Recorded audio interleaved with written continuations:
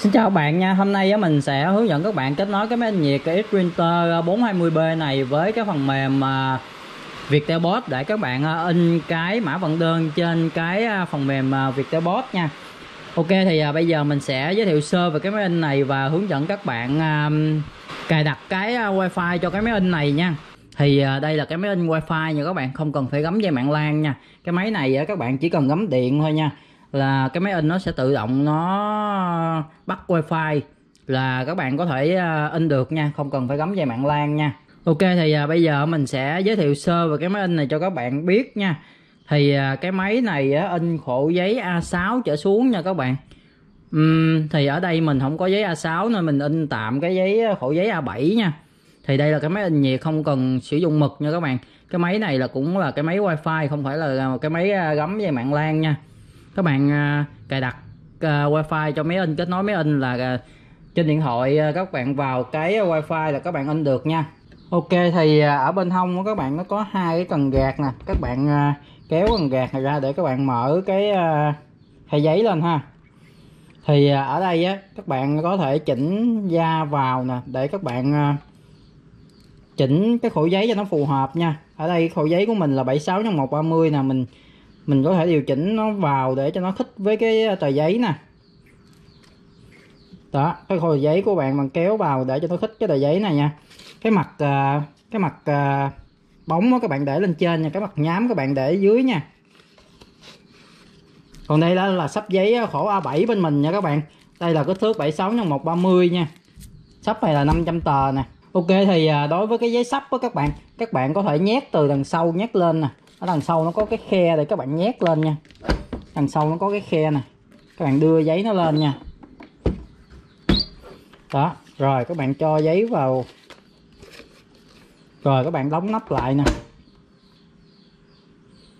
Đó, các bạn phải cho nó lồi ra nửa tờ giấy nha. Đó, nó sẽ canh chỉnh giấy lại cho các bạn nha rồi, ok, thì giờ đằng sau nó sẽ có một số cái cổng. Đây đây là cái công tắc nè, đây là gắm nguồn nè, đây là cổng kết nối USB cho máy tính để các bạn cài đặt cái wifi nha. Thì à, một xíu nữa mình sẽ cắm vào cái cổng đó để mình cài đặt cái wifi nha. Còn những bạn nào mà xài giấy cuộn các bạn các bạn à, các bạn để cái giấy cuộn này nha, ở đây là cái cái giá để treo cuộn giấy ở bên trong nha rồi ok bây giờ mình sẽ kết nối với cái máy tính để mình à, hướng dẫn các bạn à, cài đặt cái à, wifi cho cái máy in này nha. Ok thì à, đi kèm theo máy á, sẽ có một cái cọng dây cáp nè. Các bạn à, một đầu các bạn cắm vào máy in nè.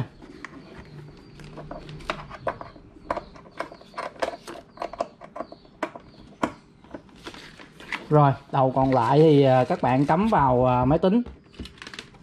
Đây đầu này các bạn cắm vào máy tính nè.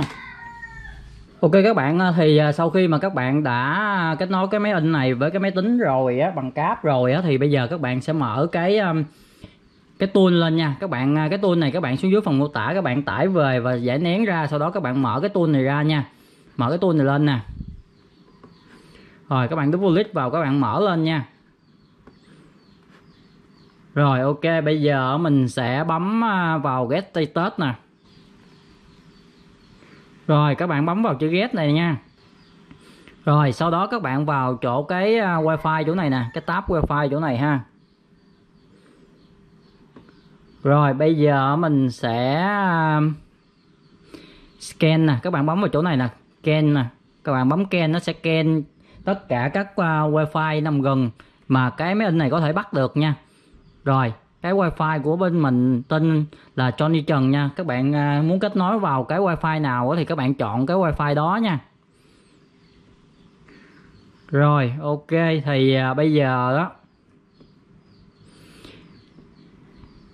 ở đây á, nó sẽ thấy được cái tên nè, nó điền cho mình cái tên nè, còn cái bát wifi mình tự điền nha các bạn. Các bạn phải điền đúng cái bát wifi nha.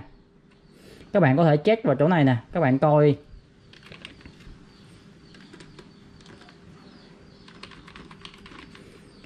Rồi ở bên này DHCP các bạn bấm ốp nha các bạn nhập cái à, địa chỉ IP y chang như vậy ha. Rồi cái địa chỉ IP những bạn nào mà khác thì các bạn à, các bạn có thể xem nha. Các bạn có thể vào trong cái uh, wifi. Các bạn có thể vào trong cái wifi của các bạn á. Rồi truy cập vào wifi của mình là cái tên wifi nè. Rồi các bạn vào chữ y nè. Các bạn kéo xuống nè ở đây nó sẽ có cái à, lớp mạng nè, địa chỉ IP nè 192.168.1.22 nè. Đó, cái lớp mạng nè. Rồi, các bạn không điền giống cái IP 212 này nha. Các bạn phải điền khác nha bạn điền giống là nó sẽ trùng nha. Đó, cái đó là mình chỉ cho các bạn xem cái lớp mạng thôi nha. Nhiều khi ở chỗ này nè, các bạn, nó có thể là 100 hoặc là 123 tùy theo mỗi người cài đặt, nó sẽ khác nhau nha các bạn đó thì những bạn nào mua máy bên mình đó thì à, bên mình sẽ hỗ trợ cài đặt sẵn cho các bạn luôn. Về các bạn chỉ cần gắm điện vào và các bạn nhập cái địa chỉ IP vào trong điện thoại các bạn in thôi các bạn không cần phải cài nha. Đó các bạn liên hệ bên shop để uh, cung cấp cái thông tin để bên shop uh, cài cho các bạn luôn nha. Rồi ok sau khi mà điền cái password rồi á cả uh, nhập cái IP rồi á bây giờ các bạn bấm uh, thiết lập set nè.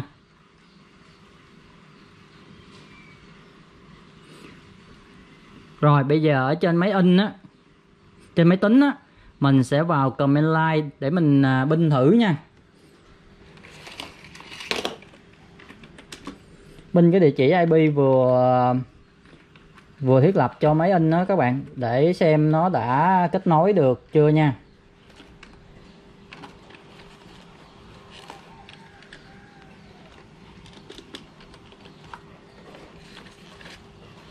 Rồi, ok nha các bạn. Như thế này là máy in đã kết nối được với wifi rồi nha. Bây giờ mình sẽ à, ok các bạn. Thì à, sau khi mà các bạn đã cài đặt cái à, wifi và địa chỉ IP cho cái máy in này rồi á, bây giờ mình sẽ hướng dẫn các bạn in cái tờ giấy in test ra để xem cái địa chỉ IP của cái máy in này là bao nhiêu nha.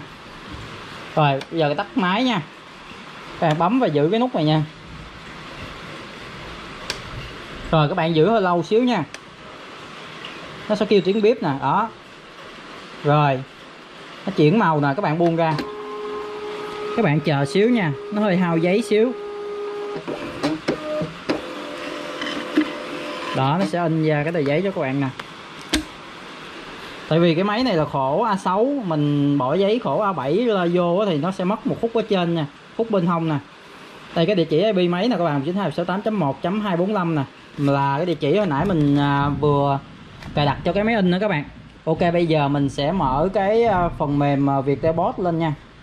Để ờ, mình nhập cái địa chỉ IP vào sau đó mình sẽ in thử cho các bạn xem nha. Ok các bạn thì đây là cái app Viettelbot nha các bạn. Bây giờ mình sẽ hướng dẫn các bạn nhập cái địa chỉ IP vào trong cái app Viettelbot để các bạn in nha. Các bạn vào cái tờ đơn của các bạn nè. Rồi các bạn vào trong cái in đơn nè rồi các bạn nhập cái địa chỉ IP ở đây vào nha cái địa chỉ IP nãy các bạn à, in ra tờ giấy in test á 192.168.1.245 nha. Kết nối. Rồi ở đây các bạn chọn mã là HBRT HB300 nè. Ở đây á, đúng là cái máy này in khổ A6 nha các bạn nhưng mà mình không có giấy A6 mình à, bỏ cái giấy khổ A7 vào. Một lát nữa sẽ in nó sẽ bị mất chữ nha. Đó còn các bạn nào in mà khổ A6 thì nó sẽ à, không có bị mất nha nó ra đầy đủ nha ok, mình sẽ bấm hoàn thành nè. Rồi, bây giờ mình sẽ bấm vô cái địa chỉ IP này, sẽ in nè. Nè, các bạn thấy không? Cái khổ A7 của mình in nó sẽ bị mất chữ nè. Đó, do cái khổ mình, khổ nhỏ nha. Khổ A7 khổ A6 sẽ lớn hơn và sẽ đầy đủ nha. Rồi, bây giờ mình sẽ in cái đơn khác thử. Rồi, bấm vào cái địa chỉ IP này sẽ in nè. Rồi những bạn nào mà xài cái máy này á in cho cái um, cái việc cái bó đó thì các bạn mua khổ giấy à, A6 nha. Cái khổ giấy A7 á, ở đây nó có nhưng mà chọn vào khổ A7 á, in nó sẽ nó sẽ không đúng á các bạn. Khổ A7 của nó là in in ngang á rồi ok ờ, thì những bạn nào muốn mua máy in này thì các bạn xuống dưới phần mô tả các bạn click vào cái đường link của Shopee hoặc Lazada để mua hàng được giao hàng ở tận nhà luôn nha. Ok mình cảm ơn các bạn đã xem video nha. Nếu các bạn thấy hay thì hãy để một like, một subscribe để ủng hộ mình nha. Xin cảm ơn các bạn.